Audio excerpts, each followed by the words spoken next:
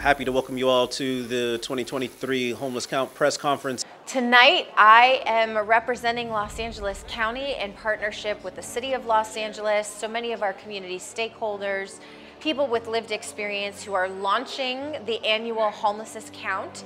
Uh, this count provides vital information to help not only inform the kinds of services that we need to deploy throughout the year, but also the ways in which we can get resources to fund those services. Tonight we're going to be in the San Fernando Valley.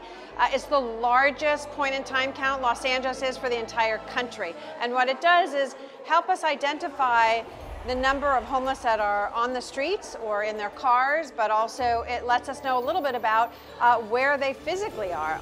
Being a resident of Los Angeles myself, you know, I know that I can make a difference. I know that, you know, just even with these two hands, you know, it does count in making sure that, you know, we all do a, our collective work.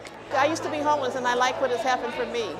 And I know it takes volunteers to do it all because Money won't buy it. Money won't, money won't pay for everything. It takes volunteers also. We need manpower. I am so incredibly grateful for everybody who stepped up to invest themselves personally in the work that we will do in the homelessness count this year. And I'm not surprised because I know many people are very focused, laser focused on this problem that we've seen in every corner of Los Angeles County. So every aspect of this count and every role that people play to make it a success is so crucial, not just again for what we will do this month, but for what we will do all year long.